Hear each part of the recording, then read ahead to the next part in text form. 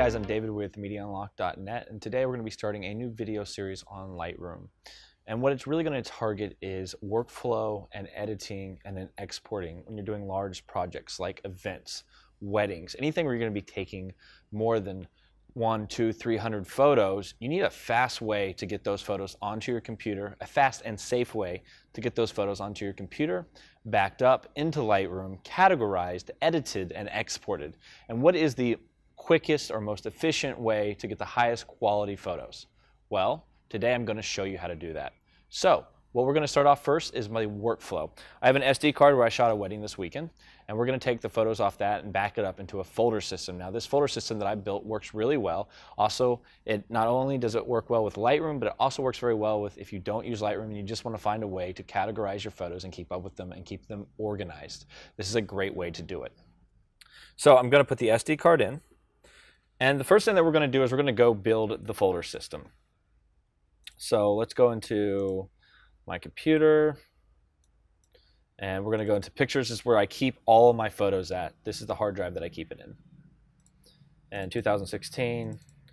And daviddispinat.com is where I do, when I do any of my commercial professional work, this is the folder that it goes into. And now we're going to make a new folder. Now, this is the Rupp wedding, actually, is what we're going to be importing some of those photos. But we're going to make it a separate folder just so you guys can see the workflow that I use. So it was 07. Now it is set to 03. That's when I actually took the photos. I'm going to set to 04 so we don't have a replicated name of a folder. And 16, and then Rupp underscore, and then wedding.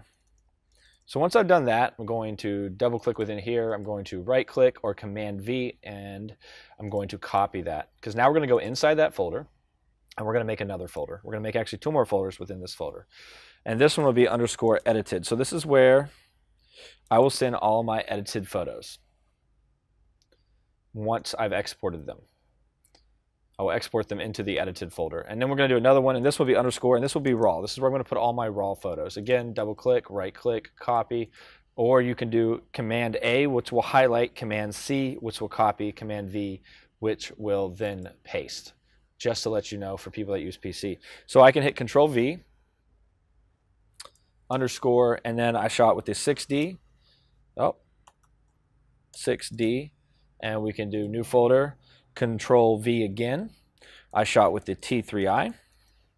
And one more Control V. And then my second shooter that I had at this wedding shot with the 7D underscore mark underscore 2. So this is where I would categorize each individual camera that I shot with or that photos were taken. Okay, so that way, one, I can keep up with where the photos are at and I know which camera it is. I know that the 6D is where majority of the photos that I'm going to want to edit are at. So those are the ones I'm probably going to focus on making sure they get edited because those are going to be the best photos. Um, the 7D Mark II, I haven't gone through all of those yet because my second shooter just gave them to me, uh, let's say. So, uh, so you know, those may be important photos as well, but I want to break them down into different categories. So now what we're going to do is we're going to go back into the computer and or my computer, and then we're going to go in and grab some photos. Now we're not going to get all the photos. We're just going to grab a few. So we'll grab like, let's say 60 photos here. So, and then we'll hit Control C, which will copy those photos for me onto a clipboard. And we'll go back into my photo hard drive. We'll go all the way back into the folder. Again, and we'll go into RAW. And where they're going to go, that was with my Canon 6D that these photos were taken. So these photos are going to be put in the Canon 6D folder. So now it is importing those photos. While that's doing that, let's open up Lightroom and go on and talk about importing your photos. So the first thing we want to do is we want to hit import. And let's talk a little bit about the importing settings. So over here to the right, you have uh, build previews. I have it set to minimal because uh, I want this to go a little bit faster.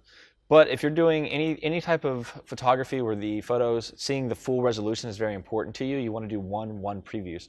So what that will do is it will go over each individual photo and it will render it out to give you that full pixels.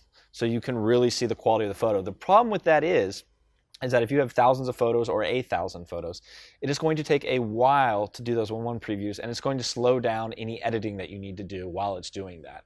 So what I would suggest, plan to drop your photos into a file folder if you have time. bring them into Lightroom, and import them at 1.1 and come back to them in like an hour or two. Um, or it, depending how many photos there are and how fast your computer is, it may take, it could take a little while. Uh, for mine to do a thousand photos, it could take quite a while. Now my computer's fast enough where I'm able to do 1.1 previews and edit at the same time, as long as I'm not running too many other applications and not have any issues. Uh, but today we're just going to set to minimal. We're just going to set to a minimal because I don't want to I don't want to spend all this time rendering these photos. Now you can do smart previews. Smart previews allow you to do editing. Is let's say you put your files on a um, on a external hard drive. You then, for some reason, unplug the external hard drive. If you have smart previews, what it will allow you to do is it will allow you to edit those photos without the hard drive being connected. And then once the hard drive connects, it will update the metadata information um, to your to your uh, hard drive. Or you might have to right click and go uh, save metadata information. Then it will make those updates. So the smart previews are kind of cool because it allows you to kind of work offline. Uh, I could click don't import duplicates. You see when I click that, I already have the wedding imported into Lightroom. So this is the second time I've actually imported this into the Lightroom. It will let me know that all of these files right here have already been imported to Lightroom. They're already there, so I don't need to actually re-import them. But today, for learning purposes, we are of course going to import those. Uh, then you can make a second copy if you want to send them to a second place, which is kind of nice, right? So if you want to make another backup, you can set up a backup folder system as well, and you can use that if you wanted to. You could add it to your collection. I don't. I have all my stuff built in order and sequencing the way I want it to. Uh, then you have file renaming information here if we want to go in and rename the files. If you have a specific way that you like to name files, um, which you know I could go in and make them, let's see if it custom name, right? So I could go in and number it as one, or what I could do is, so you could go in and you could rename these. And so what I could do is I could do, I could name them all, since we'll add 03 to these, let's say, or well, the folder said 04, so we'll add 04, 16, RUPP, wedding, okay? So now it's to it's to rename all these. So if I have a way of searching for files on my computer, this is going to help me out with that. So um, and then I can sequence them, start at number one, and work my way up. So we'll do that just for fun. I ne I never rename my files. I don't ever need to, but this is a, a cool and fun way to do it. Um, so it will batch rename those files for you, which is pretty cool. Um, it's going to add my metadata information in um, as it imports as well uh, if we go down to, uh, we can do presets as well. So uh, let's pull this up.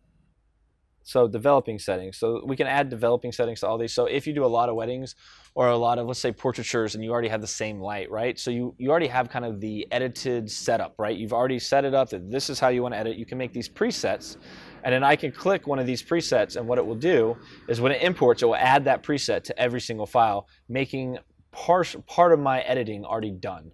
Um, now this is going to work when you're using the same lighting, same kind of camera setup, and all the pictures are going to be same. It would not look that good if I did it to like a wedding because my lighting and there's different scenes, uh, just too much is changing throughout the wedding for me to use a specific preset, in my opinion. Now there are some people that do use presets for their wedding photos, and uh, you know, all the power to you on that. I just not my style. All right, so now we've talked about the side panel a little bit. Let's jump over to uh, the picture. So now we got to go into the hard drive. We got to find it to import it. So, and then it's under david.com, and then we got RUP down here, and it's going to pull up all these. Now, again, if I hit, and it's going to tell me, oh, these are duplicates. You've already got these in your system. Well, it's okay, because I know that. We're not going to do smart previews. We don't plan to do anything offline.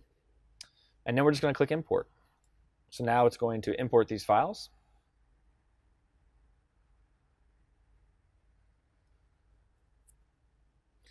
And then once they've been imported, we'll go into pictures so you can see so we can take a look at them. So here, the, here are the files that we just imported. Now I can go with into separate folders within that. Now this is just set to wedding, right, as you can see, and then if we go here, it's 6D. If I had files in the 7D Mark II folder and I had files in the T3i folder, which I'll show you on the actual folder where we're actually doing the real editing, And so as you can see here, 6D and T3i. So I can jump between these two cameras and edit just the files on those cameras, or I can do all the files for all the cameras. So like right now, I've just been working on the 6D files, and then I'll jump to the T3i files. Uh, I only took like 50 pictures with the T3i. I don't really use it a lot. And it's a backup camera, but I had it with me that day. 6D took all the majority of the files that I wanted to edit. And then I just got my files from my second shooter today. So those files will actually be the 7D Mark II, and that will be added. That will be another folder added. So as you can see, that's why I like to add in that extra information because then I can go in here and I can be like, it's not an untitled folder. I can see, okay, so these were my 6D files are at. So let's go back to the lesson folder, which is the 7416, and we'll go to 6D, and let's talk a little bit about how I categorize my files now that they're in Lightroom. How, what's the fastest way to, to figure out which files I want to edit and don't edit? And then that way I'm not spending a bunch of time looking at files or doing going through all thousand files and editing one photo at a time, right? That's really annoying to me. I don't want to just edit because then you then if you leave, you got to remember where you left off, and it's just it's a it's a mess, right? So this system I think works really well. So let's click into the file. And so I spend once I've got everything backed up, all the smart previews are done. Now I go through every single file, look at them, and I add a rating to each file. I add a rating between three and five. Anything that is a one or two star I am actually not going to use whatsoever. I'm never going to go back and look at it. If it's a one or two star, it's not usable, in my opinion. Um, or I just don't need it. Um, or I won't rate it at all. If I don't want to edit it, I just won't rate the file. So you have your numbers, one, two, three, four, five on your keyboard. You can actually use that. So if I hit a five, you're going to notice it said five star rating. So it just made that picture a five star rating. Now, this is a really goofy picture. Why would I want to make this a five star rating? I know the groom really well. He's a goofy guy. He's really going to like this photo. Uh, plus, these two groomsmen decided that they needed to give him a kiss before his wife gave him a kiss about half an hour down the line from here.